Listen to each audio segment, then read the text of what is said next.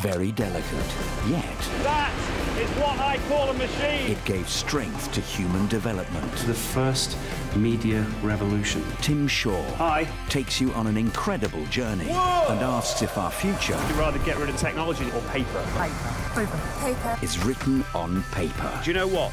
Without paper, we wouldn't be who we are today. Chasing Paper, next Friday at 8 on National Geographic Channel.